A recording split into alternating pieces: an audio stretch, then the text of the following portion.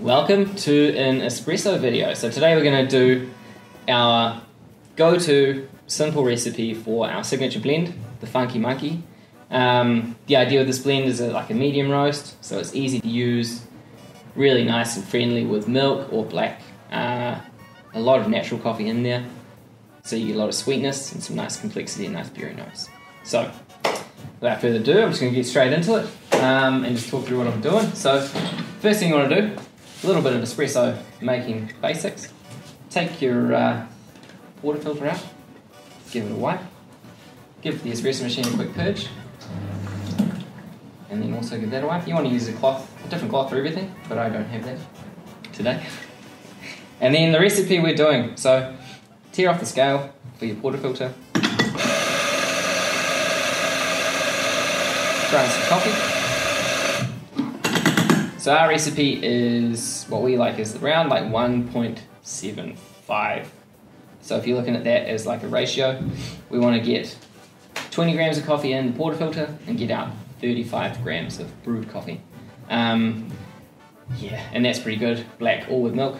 Uh, today the portafilters are a bit smaller. We're going with 19 grams. So I got 19 grams in there. Give it a quick level off. I also gave it a smack on there, um, and that helps level off a bit too. And tamp it don't tamp it crazy hard. And then purge this, give it a wipe, chuck it in, and then you want to tare your cup. And start the clock and start extracting.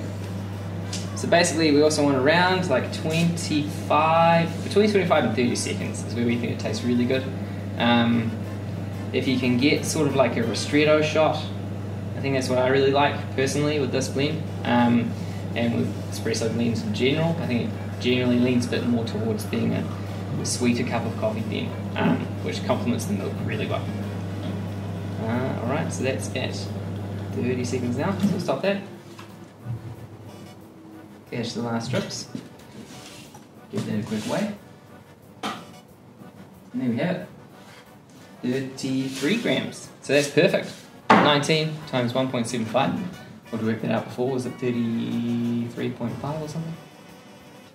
Yeah. Yes. Yes, it was. So that's it. And that's just a really good base beverage. I mean, it's great black. You can also just add water, make an Americano, or chuck your milk on top and make a nice latte or flat white cappuccino. Simple.